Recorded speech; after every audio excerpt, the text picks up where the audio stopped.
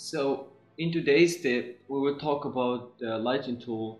So I have this scene here with the light selected and I will go to tools and choose my lighting tool. We'll see it gives me that um, circle.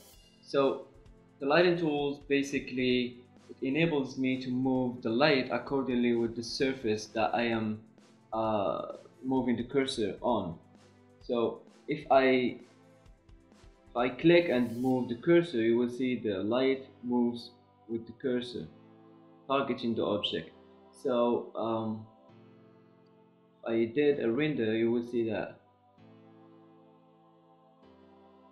light moves with the cursor.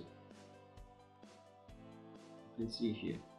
Um, now, if I go to mode here, you will see that I have a lot of options but I will talk about specular placement because that for my opinion that's the that's a powerful uh, tool inside of Cinema 4D so specular placement here enables you to move the highlight. So now you can move the light and move the highlight with it.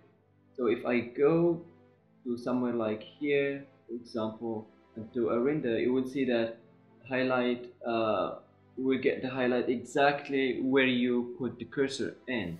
So if I put it over here we'll get the highlight in that place. Um, so that's the lighting tool uh, for starter.